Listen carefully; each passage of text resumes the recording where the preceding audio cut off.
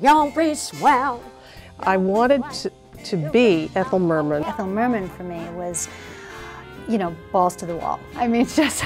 If you're on stage with Ethel, you better sing out, Louise, because you're going to have to fight for uh, every moment that you get on that stage. She was louder than I am.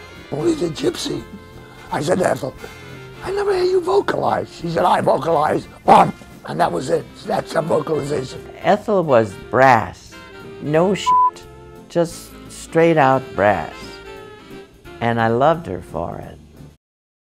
So, what was the feeling in New York City about Hollywood in the theater community in the 30s and 40s? Pretty much what it is now. Not real respect for it, but kind of dreaming that it might give them thousands, hundreds of thousands of dollars so that they can then, they think, do what they want, but it never works that way. Broadway doesn't particularly like Hollywood, and Hollywood doesn't particularly like Broadway. I was making 57.50, which was equity minimum in, in Bright Boy. And MGM was passing out contracts to everybody, but I never cared anything about being in the movies. I never had a dream about becoming a movie star. I never had a dream about Hollywood. Never.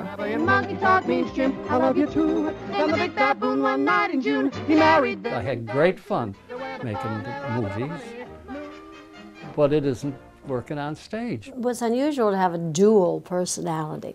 Either you were in New York or you were in the movies. There's great competition, the East and the West. There's great, there, there still is competition between the two. I did a Band Wagon for MGM with Fred Astaire and Cyd Charisse. That was going to be my introduction to the public. But it was about 10 years too late.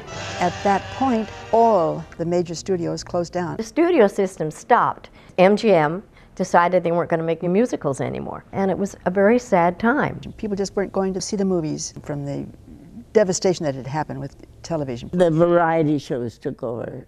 And and you know, to go to the theater, it was costly. It really happened when Congress uh, decided that there was a monopoly, that the studios could not own, shoot, and distribute their film. And they had most people under contract, so instead of paying stars uh, even a percentage of the picture, you didn't own anything. I don't mean just MGM.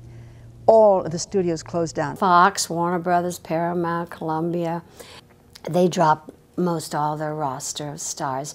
Fired everybody. Me, Fred Astaire, we were all out in the street. The studio system started letting Katharine Hepburn go, uh, can you imagine, and Clark Gable go, and they just didn't keep a roster. MGM kept a few, and I was lucky enough to be one of them. A lot of people, when they uh, left Metro, that had only done movies, that they had, uh, that, that, you know, they had trouble going on with their career.